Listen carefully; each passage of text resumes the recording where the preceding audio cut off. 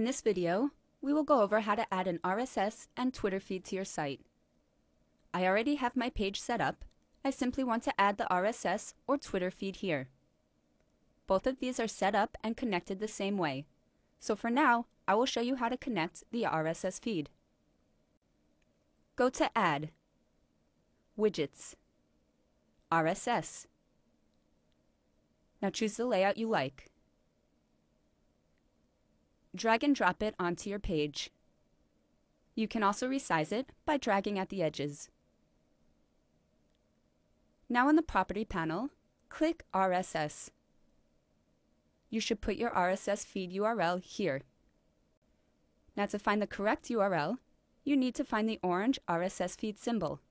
For example, go to the Wix blog page.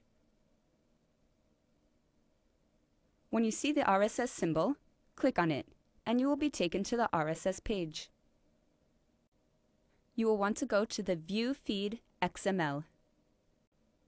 Now simply copy the URL address and paste it into the RSS feed.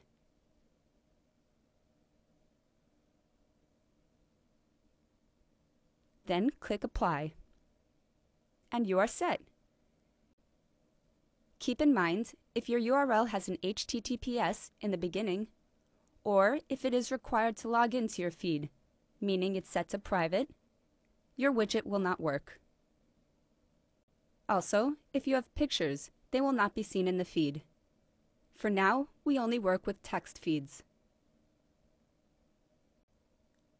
If you set your RSS feed up and it disappears, this means the URL is not correctly inserted. So make sure you double check your URL. And don't forget to save when you are done.